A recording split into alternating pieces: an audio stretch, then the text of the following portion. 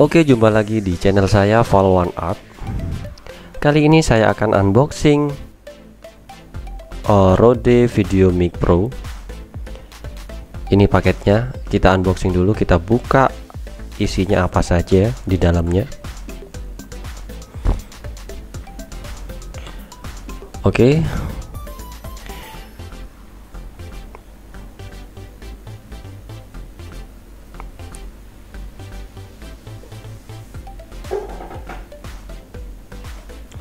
Oke ini adalah penampakan dari Rode Video Mic Pro. Dan kali ini kita buka isinya apa saja di dalamnya ya. Oke. Wow premium sekali kemasannya. Ini saya dapatkan sekitar harga 2.800an di Tokopedia kita coba uh, apakah suaranya mantap atau tidak. Kalau ini saya masih menggunakan mikrofon dari kamera. Dan kita akan coba menggunakan Rode Video Mic Pro. Oke berdasarkan spesifikasi yang sudah saya baca mikrofon ini sangat ringan ya uh, sekitar 85 gram. Dan untuk baterai bertenaga baterai 9 volt penggunaan lebih dari 70 jam. Biasanya menggunakan baterai alkalin atau merek lain ya. Bisa. Kaca depan e, menggunakan busa terintegrasi. Kemudian ada output mini jack stereo 3,5 mm dual, dual mono ya. Nah, ini mengetahui apakah ini ori atau tidak. Kalian bisa cek di stiker di bagian samping di bagian bawah maaf uh, itu biasanya made in Australia. Kalau yang palsu uh, katanya sih made in China ya. Oke okay, speaker ini ada kontrol level 3 posisi. Nah ini. Ini kalau kalian mau lihat uh, apakah ini ori atau tidak biasanya menggunakan uh, logo made in Australia untuk kontrol level 3 posisi yang tadi uh, ini dilengkapi dengan 3 min 10 dB 0 dB dan plus 20 dB kita coba nanti pada saat penggunaan Rode Video Mic Pro perbedaan dari tiga level posisi tersebut min 10 dB 0 dB dan plus 20 dB kita coba bentuk dan desain dari Rode Video Micro. Ini bisa menjadi bahan pertimbangan kalian bagi uh, vlogger ya. Biasanya butuh mic untuk shotgun dan ini juga bisa digunakan untuk bumpul jadi pemasangannya mudah karena dudukan kamera uh, menggunakan ulir 3 per 8 jadi sangat mudah untuk pemasangan bumpul kita coba lihat desainnya seperti apa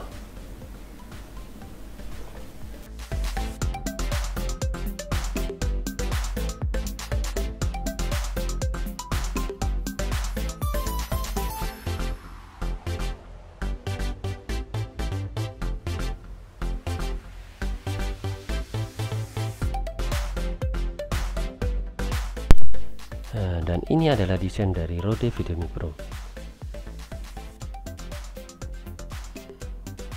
Oke kita oh ini busanya ya. Kita cek. Wow ini bisa dibuka seperti ini. Nah, empuk banget ya kalau kita pegang empuk banget. Oke, rode kita pasang lagi. Nah ini juga butuh baterai teman-teman. Butuh baterai. Nah untuk pembukaan baterai ini agak susah ya. Jadi kita harus membuka busanya dulu agar bisa membuka tempat baterainya. Wah ini harus beli baterai dulu ya. Oh, kebetulan saya sudah punya baterai. Jadi habis ini kita ambil. Kita buka dulu untuk pemasangan baterainya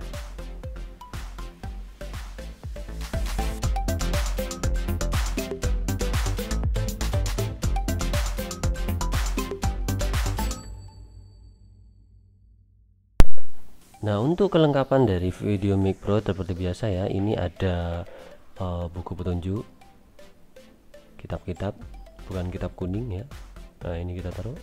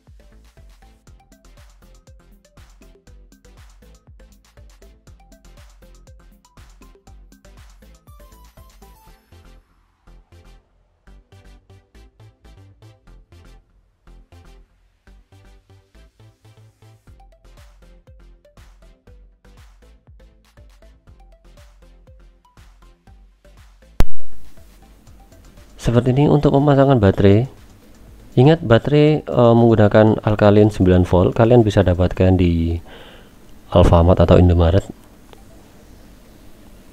Jika di toko terdekat kalian ada ya silahkan beli.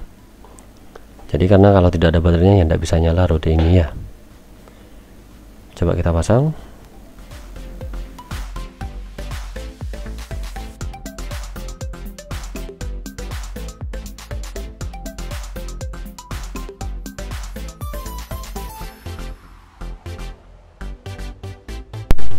Oke perlu diperhatikan teman-teman untuk pemasangan baterai ini harus hati-hati ya. Jadi kalau kalian tidak hati-hati ini bisa uh, pecah ya untuk penutupnya. Nah, ini harus hati-hati kita harus benar plus minusnya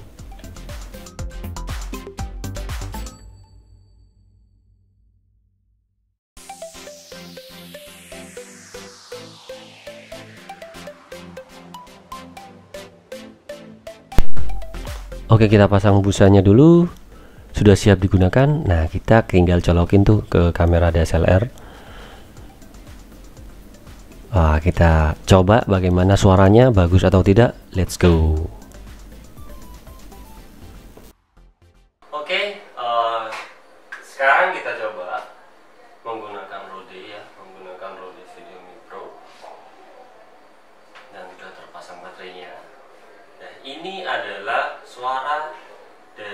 kamera saya dari bawaan kamera Nikon jadi bisa terdengar suaranya seperti apa?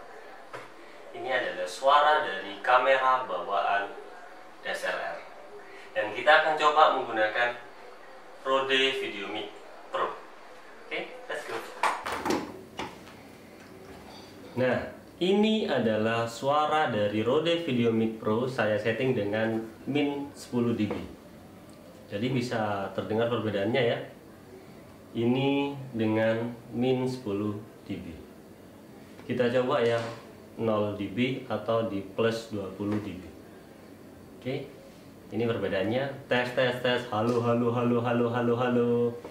Tes tes 1 2 3 ini adalah suara dari Rode VideoMic Pro. Saya atur dengan plus 20 dB.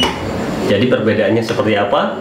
Bisa terdengar ya e, bedanya dengan kamera e, suara dari kamera DSLR, kemudian perbedaan menggunakan Rode Video Mic Pro. Oke.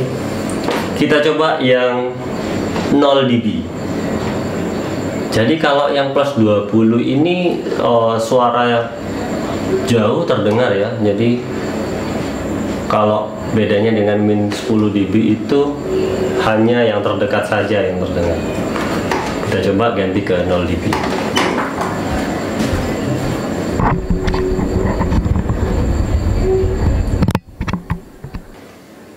nah ini adalah Video Pro oh, Rode Video Pro dengan 0 dB Halo. Oke, perbedaannya kelihatan kan ya? Oke, kita coba lagi di min 10 dB. Ini adalah perbedaan suara dari Video Mic Pro min 10 dB. Jadi bisa kalian dengar ya perbedaannya seperti apa. Uh, bagus yang menggunakan suara dari bawaan kamera atau menggunakan Rode Video Micro. Oke, sekian dulu unboxing dan review dari Rode Video Mic Pro. Sampai jumpa di unboxing-unboxing lainnya. Kemudian jangan lupa ikuti channel saya. Bye bye. Dadah.